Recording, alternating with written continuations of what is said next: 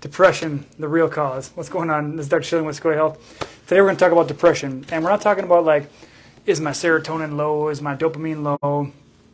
You got that? You all right? Bring it back up. There you go. Technical difficulty here. Our camera woman Christine is on the job. She's doing amazing. Am I getting paid for this? So let's talk about depression. So there are some neuroemotional themes behind depression, and it's not like, oh, you know, today sucked and yesterday sucked and tomorrow's going to suck, so everything's going to suck. Like people literally lose a sense of themselves and a purpose in life and things like that. So they, they literally say there is no point. Just talking to a young man about his son recently, and yes, it looks like my brain's exploding out of my head. Uh, the point is, people lose hope about their lives and they lose hope about what they can do for themselves because they literally feel like they're lonely, like nobody cares.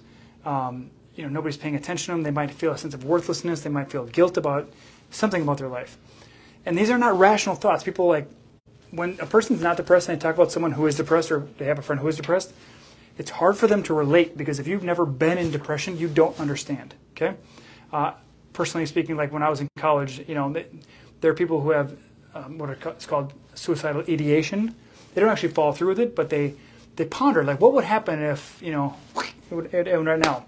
Well, that personally happened to me when I was driving. Um, clear as day. I was coming back from undergrad back to my hometown. I was driving down the road. I'm like, not feeling so hot about things. And I was my sophomore year in college. I don't remember what was going on, but I'm like, what if I just, you know, if you ever seen Tommy Boy, and like jerk the wheel into a bridge abutment, you know, like the point was like, what would happen if I took my life right now? Like, what would it be?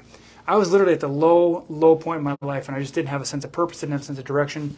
Things weren't going as well as I wanted in relationships, at school, whatever it might have been, and I didn't know what to do. And fortunately, I didn't choose that path, but a lot of people do. A lot of people have feelings like that, and it can be scary.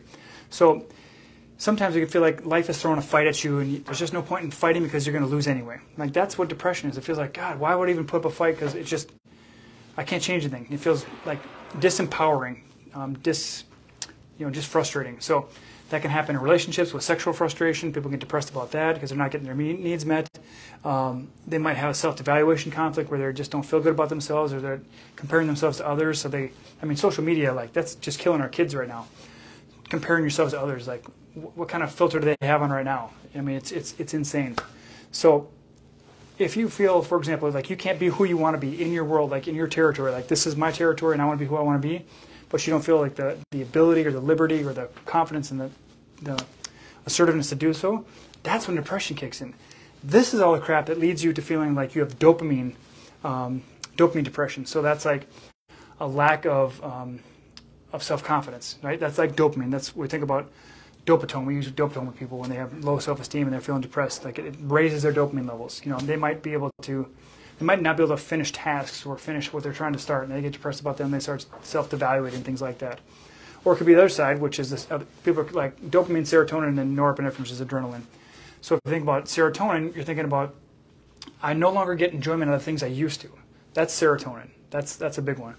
Um, you know, you can if you feel overwhelmed easily, that's also related to serotonin and things like that. But these are the deeper meaning behind the condition. The label of depression is just like someone slaps a, you know, hi, my name's depression, and then they're like, well, how's your depression today? How are you, how are you know, how down are you feeling? Like that's not helpful.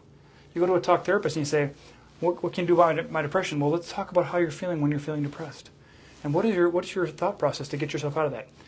No one has time to sit there and think about how crappy they feel. They want to feel better. So, I mean, talk therapy has its place, don't get me wrong. If you're in a seriously tough spot and need some strategies to get out of it, go for it.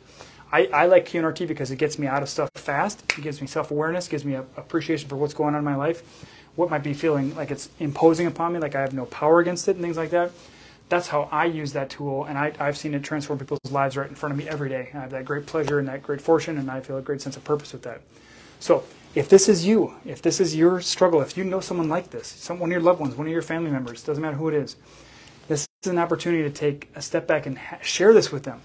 Help them understand what the real root cause of depression is so that they can understand themselves better and they can say, gosh, I'm not alone in this. Or, gosh, there's a meaning behind it. It's just not like a, a pointless journey that I have no control over.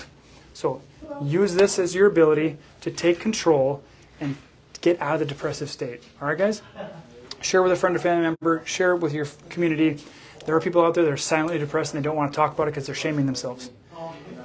Don't let you know friends don't let other friends shame themselves or be depressed. Okay, so share with a loved one. Help other people help themselves.